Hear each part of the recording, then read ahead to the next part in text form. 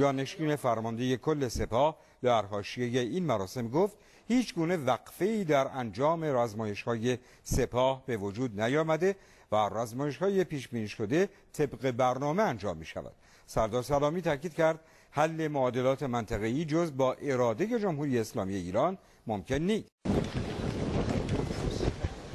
با رمز مقدس یا محمد رسول الله صلوات الله علیه آواز کنید به حال قوه الهی.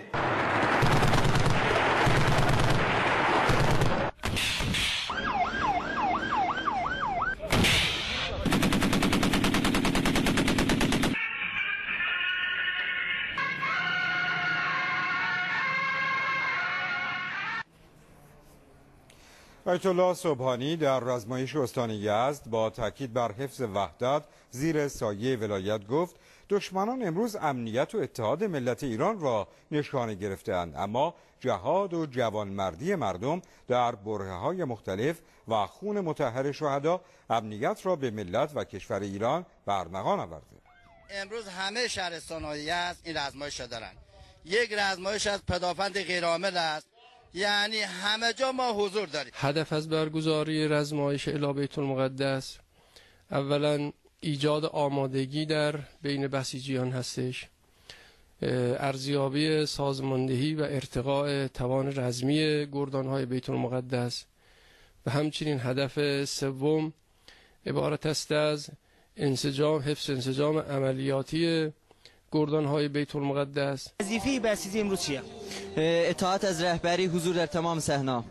خب بسیج یعنی عشق بسیج یعنی بیدار biz ta nekkedeganımız var, canımız var bu inkılaptan defelyacak.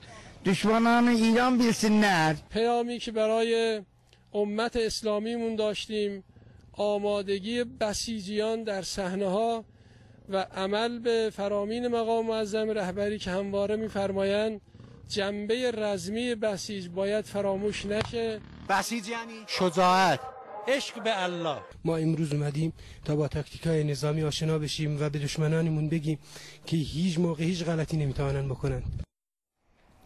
فرمانده نیروی دریایی سپاه هم در رزمایش بزرگ مدافعان خلیج فارس در بندر عباس تاکید کرد توان و قدرت جمهوری اسلامی از مرز بازدارندگی گذشته و اگر کشوری زیاده طلب بخواهد امنیت منطقه را به چالش بکشد با اقدام قاطع و به موقع جمهوری اسلامی ایران مواجه خواهد شد. ما یه سری گزینه های روی میز داریم که امریکا نمی‌فهمه این موقعی می‌فهمن که کار از کار گذشته. امریکایی قدرت رو می‌فهمن. توان رو می‌فهمن. امریکای موشک رو می‌فهمن شناور رو می‌فهمن.